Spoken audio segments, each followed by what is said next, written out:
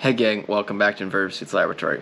Doing this a little bit after the fact in comparison to the way I normally do it, and I'm sorry if the audio is also not too great, kind of filming this quick on the fly here while editing uh, the current uh, screwball video, but I realized never really filmed an intro for it.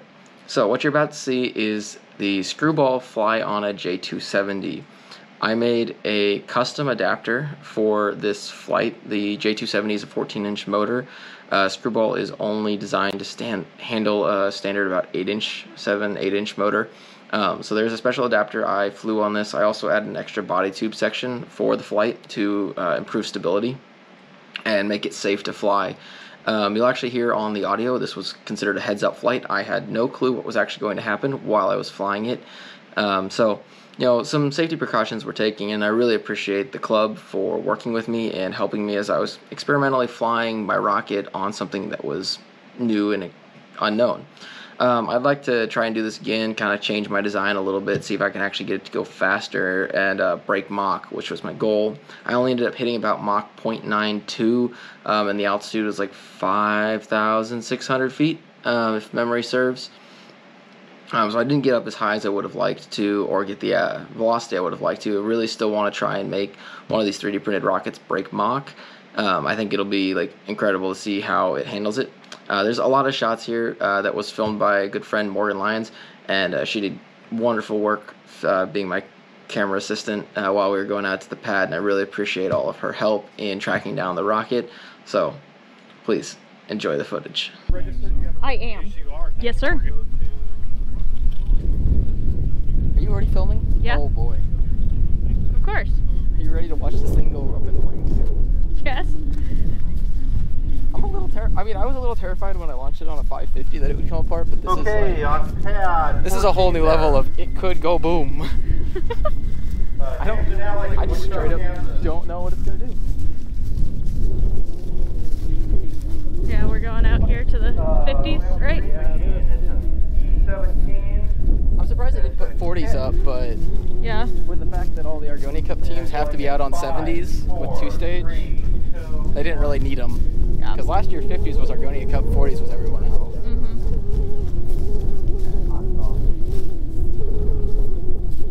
It's kind of nice because we don't have to compete with them, but Yeah.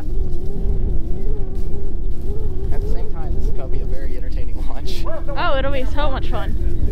I need to verify that the Jolly Logic's actually on. Got you a nice establishing shot of all the, the people. Thanks. It's a B-roll.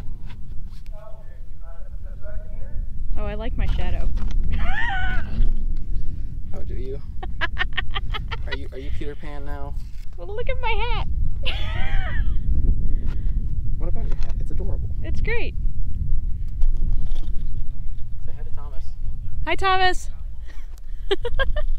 I finally made it. I'm on YouTube. I'm on the YouTube. Parents just being like, what now? Yeah, that's how it be. Like that's just such a mood. All right, screwball. It's on a J270. I do have one shorted igniter, but I'm not really too concerned about that. It's got two igniters in it, so the double tap should set it off. Um, I'll just have to have them short override. We are on pad 54. Screwball's gonna go on a J270, should break Mach. Will be interesting. You ready, Morgan? Yeah. We're ready for a very exciting and potentially spicy flight. It will be a spicy flight. I am not running onboard camera uh, because that's just too much to lose.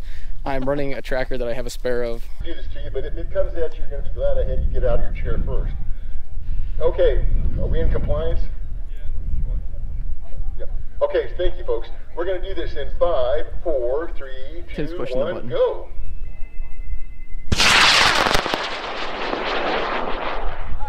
I'm glad you got out of your chair for no good reason. hey, I'm happy. Right, so we took off trekking across the land. Unfortunately, I left my GoPro, so we're filming on the phone right now. Woo! What's your distance, love? Uh, 1350 1350, straight ahead of us. We've got Morgan on the radio. She's in the chase vehicle, and she's right actually over there. So we may intercept her. but it's always interesting tracking with the uh, Eggfinder because you never quite know where you're going. There is a way to do this with a map. I'm sorry. I'm wondering. My heading. I'm sorry. I'm not good with headings. You just have to stop me and move me. I appreciate you. Oh, I should brought the brace. I'll, I'll take mine off and give it to you.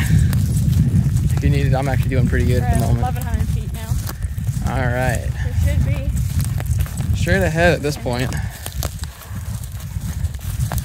Heard another thing. Sounds like it went off of the 70s. But hunting we go. That looks like a fully intact rocket. Now we got wind.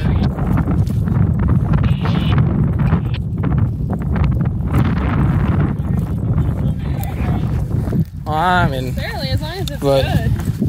I mean, that came open, but I don't think it actually went off at the right altitude. No. Looks fine. Yeah, it does. That looks great. Oh, yeah, she's still got holes in her. Forgot about that. It looks really good. I'm impressed. She held up beautifully. Oh, no, that's, that. That that's one of my cutouts. I can unplug my tracker.